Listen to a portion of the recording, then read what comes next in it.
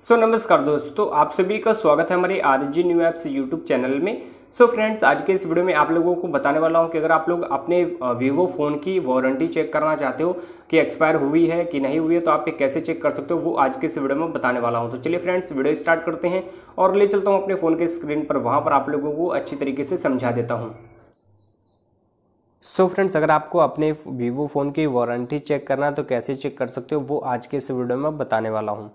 तो इसके लिए सबसे पहले आपको क्या करना होगा, यहाँ पर आपके फ़ोन में एक एप्लीकेशन दिया जाता है, आपको मैं बता देता हूँ।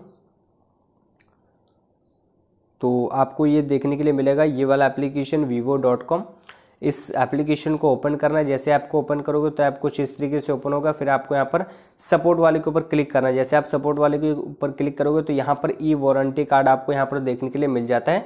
जो कि सेट टू एक्सपायरी जो सुन यहाँ पर जो एक्सपायरी डेट है, वो यहाँ पर है दस तारीख और मार्च में 2021 जो कि अभी निकल चुका, अभी अप्रैल चल रहा है, ठीक है? यानी कि 10 तारीख को ये मार्च में एक्सपायर हो चुका है इसका जो ई वारंटी कार्ड है, ठीक है? तो इस तरीके से आप अपने वीवो फ़ोन में वारंटी कार्ड चेक कर सकते हो, बहुत ही आसान तरीके से। सो so फ्रेंड्स आज के इस वीडियो में इतना ही। आई होप आपको ये वीडियो अच्छा लगा होगा। आपको वीडियो कैसा लगा है प्लीज़ कमेंट करके ज़रूर बताना।